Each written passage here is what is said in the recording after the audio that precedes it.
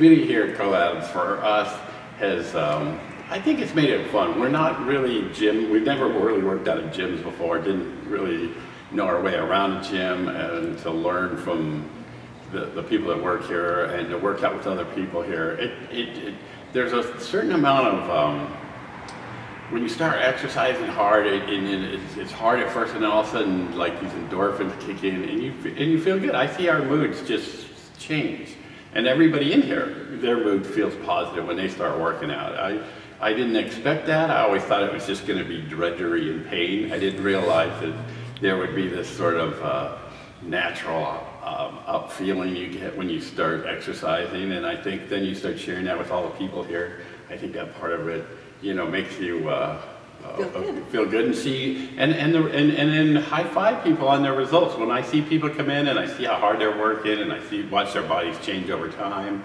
it, it is, it's uh, pretty amazing. So that, that part's been really, really good. How did we end up at Karla Adams is the question. Yeah, how did you- Um, well, I was uh, obese, as to put it in kind terms or factual terms, for quite a while. Actually, probably like 25 years. And um, I, I was always complaining about my weight and pretty much doing nothing about it. And I think my wife just got tired of me complaining about Whining, it. I think it was whining. Whining, whining's official. That's the, that is the term. And uh, she um, found Karla Adams somehow. I'm not sure, but uh, she decided that uh, she heard enough of this, and she said, "We're I have an appointment. Um, do you want to go?" And I said, "No, no, no, I don't want to go." And then she's like, "Come on!" And so she coaxed me into coming. And I said, "Okay, well, I'm not signing up or whatever, but." We'll just look at it. And so when we got here, we talked to Karla.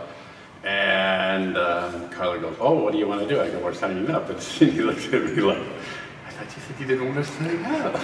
And I'm like, No, we're signing up. I'm, I'm doing this. I'm, I'm going in. eh, You know, and, and I think, um, to be honest with you, with us both doing it is what's really made it successful.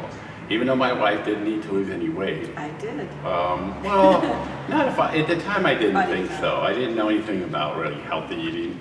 So I didn't realize, you know, I mean, you would, anybody would look at her and not say she's overweight like I was. So, um, I didn't realize the benefits that she would get as well. Or that we, and then as a couple that we have gotten, it's, um, been really spectacular.